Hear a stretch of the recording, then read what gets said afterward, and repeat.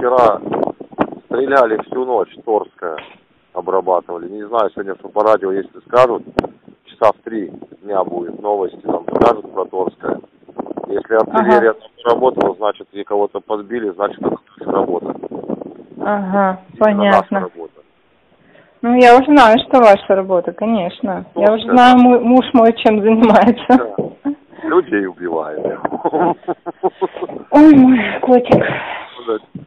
Чем муж занимается? Людей убивает, что? Относись к этому по-другому, милый. Я, я так, и- я так. Ты служишь в своей стране. Местные прикинь, к нам относятся не очень хорошо в, в этом, в Кременной. Ну, понятно, Дима. А, приехали. Даже по-украински с нами разговаривают. Приехали тут агрессоры. Два дня назад пятеро диверсантов вырезали ВДВшную, ВДВшную, Ой-ой-ой. на соседней лесополосе. Ой-ой-ой.